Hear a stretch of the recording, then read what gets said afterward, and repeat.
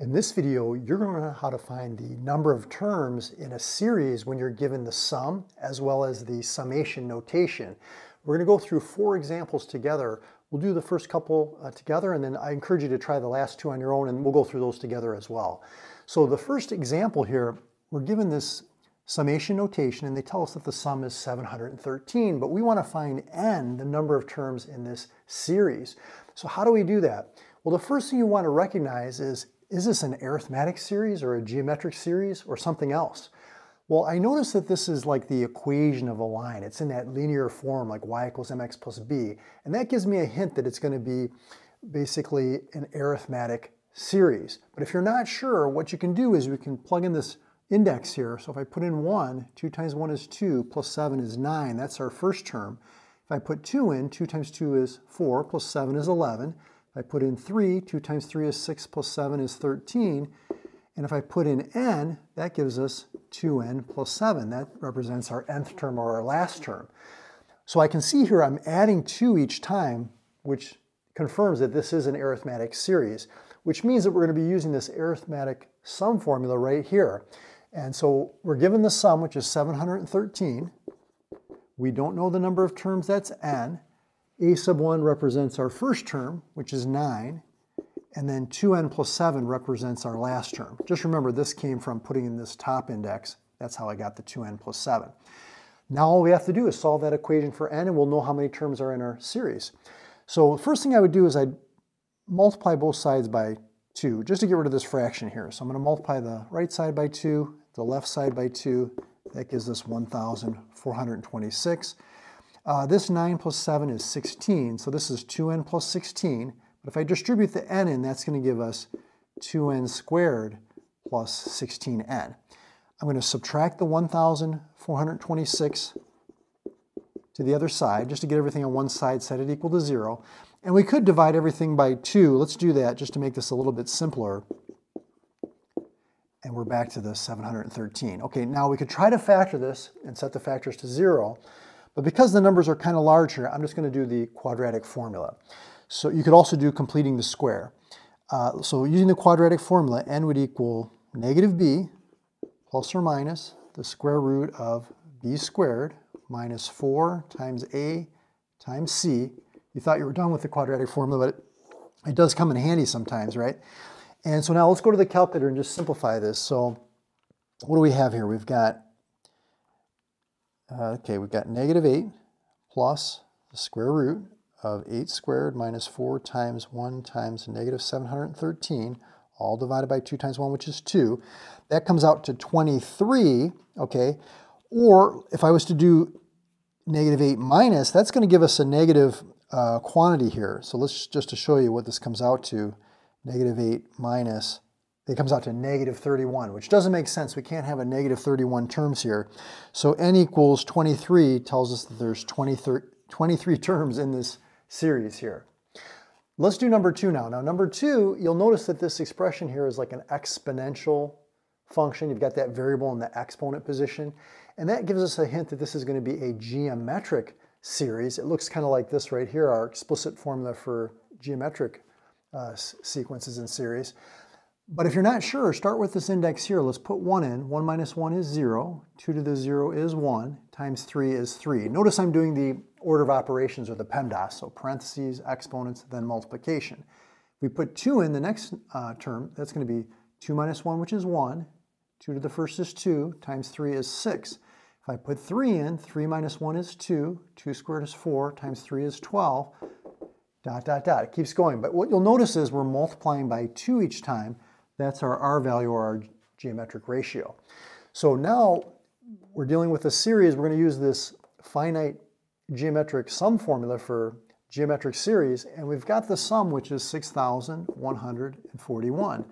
That equals uh, a sub 1, which is 3, our first term, 1 minus our ratio, which we said was 2. We're multiplying by 2 each time. n is the number of terms that's we're going to solve for over 1 minus the ratio, which is 2.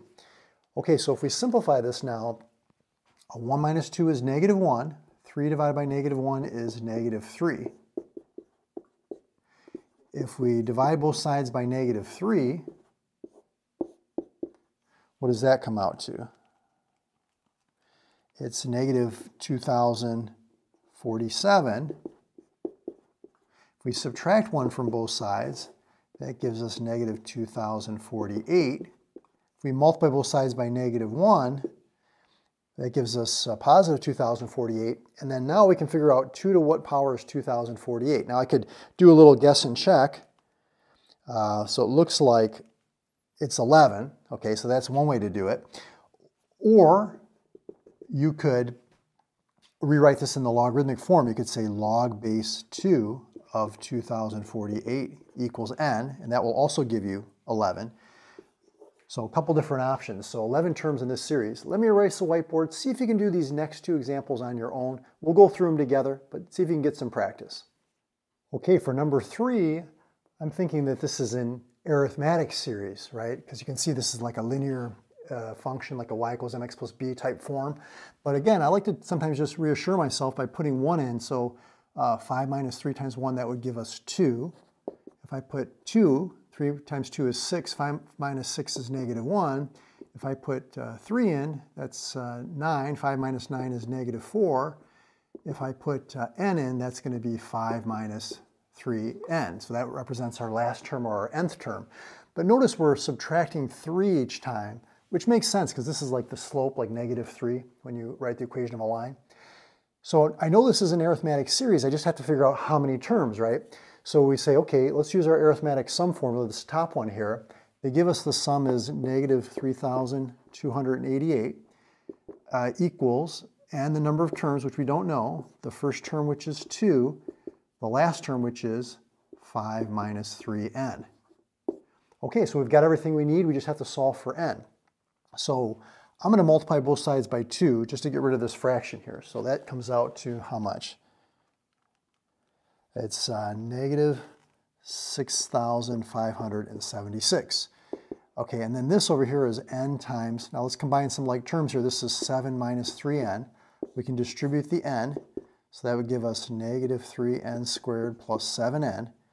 And I'm going to add the 6,576 to the other side so I can get everything on one side and you know set it equal to 0. Now you could try to factor this. Or I'm just going to use a quadratic formula again since these numbers are quite large. So we have n equals uh, negative b plus or minus the square root of b squared minus 4 times a times c all divided by 2 times a. Okay, going to the calculator now, let's see what we get. Double check my work on this. Uh, let's see, negative 7 plus the square root of 7 squared minus 4 times a times c. Okay, uh, let's see, make sure I type this in right. Mm -hmm. Okay, all divided by, okay. Now if I do the minus 1, let's see what that is. Okay, so it comes out to 48. So that, see, one of the terms came out negative, which doesn't make sense. You can't have a negative number of terms. So this comes out to n equals 48. So 48 terms in our series here. Now for number four, the last one, see if you can do this one. Uh, go ahead and pause the video. This one looks to be a geometric series. Again, notice that ab to the x form or this a1 r to the n minus 1 form. Again, you can check Check it by putting in 1. 1 minus 1 is 0. 1 half to the 0 is 1. Times 8 is 8. That's our first term. If I put 2 in, 2 minus 1 is 1. 1 half to the first is a half. Times 8 is 4. If I put 3 in, 3 minus 1 is 2. 1 half squared is 1 fourth. Times 8 is 2. And you can see we're multiplying by a half each time, which is this base here, this r value, our geometric ratio. So we're going to use our geometric sum formula to find the number of terms, we know the sum is 511 over 32. And let's see, the first term we said was 8. I'm just using this formula right here. 1 minus the ratio, which we said is 1 half to the nth power. That's the number of terms, all over 1 minus the ratio. Okay, so now 1 minus a half is a half. Okay, and 8 divided by a half, well, when you divide by a half, it's like multiplying by the reciprocal, so that's actually 16 okay? And now I'm going to divide both sides by 16. Again, we're working from the outside in towards n here. So divide by 16, which is like multiplying by 1 16th. So that comes out to, let's see, so what's 16 times 32? 512, so we have 511 over 512. If we subtract 1, okay, which is really like subtracting 512 512ths, right? Okay, that's like minus 1. So that gives us negative 1 over 512 equals negative 1 half to the n. If I multiply both sides by negative 1, that gets rid of the negatives there. And again, I can do some uh, guess and check, or I can use logarithms. Uh, let's just double check here. So maybe if I do, let's see, 1 half, maybe to the, let's just try something here. How about, no, maybe 1. Now, what you can also do too is, see, this is like 1 half. You could take the reciprocal of both sides and say like 512 equals 2 to the n. That's going to be the same thing. So let's try that. So 2 to the, uh, okay, so it's it's 2 to the 9th. So this is actually n equals 9. So I kind of did that trial and error. If you wanted to use logarithms, what you would do is you'd say log base 2 of 512 is equal to n. And that will give you 9 terms as well. So a couple different ways to do it.